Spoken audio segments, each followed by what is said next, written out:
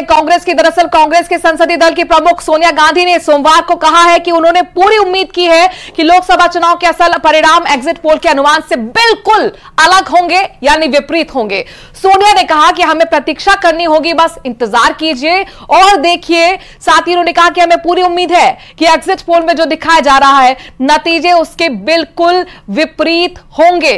तो सोनिया गांधी ने अपना पैगाम दिया है और साफ़ तौर पर एग्जिट पोल पर सोनिया गांधी ने कहा कि एग्जिट पोल में जो दिखाया जा रहा है, नतीजे बिल्कुल उससे उलट आने वाले हैं।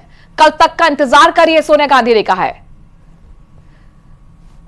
आपको बता दें कि एग्जिट पोल का अनुमान साफ़ तौर पर सरकार की रिपीटेशन की बात कर रहा है।